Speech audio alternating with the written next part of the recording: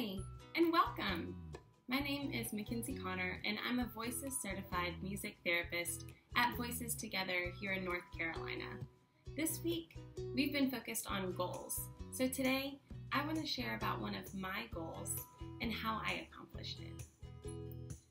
As a young middle school girl, I discovered music therapy as a viable career option. After just minutes of research, I knew that that's what I wanted to do with my life. So I began to make a plan. To become a music therapist, I made a timeline of what steps I needed to take in order to become certified. I created a vision board, painting a clear picture of what I wanted to be and how I was going to get there. I researched schools, practiced my music skills, and kept up with my grades.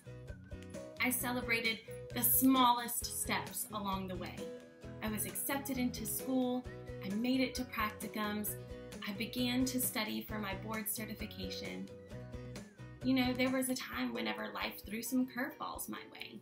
So when that happened, I took a step back, took several deep breaths, and reminded myself that the journey is never a straight line. I would revisit my vision board and remind myself of why to be a music therapist. I became a music therapist because I wanted to help others find their voice. I wanted to show how music could be used in a variety of ways to make life better. At Voices Together, I'm doing just that.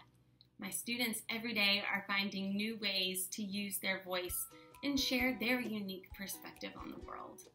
Their passion and their courage to try new things encourages me each day to become a better therapist and a better person. Reaching my goals took a lot of hard work, took a lot of dedication and a lot of patience. But in the end, it is so worth it. It's worth it every time I begin and end a session. I used a lot of the same skills that we featured this week in order to help me accomplish this goal. My hope is that this week you'll take some time to think about your goals. Make a plan of how you're going to achieve those, and then begin taking steps to realize those goals of yours. Thanks for joining me today to hear a little bit about my story. I hope you have a great week.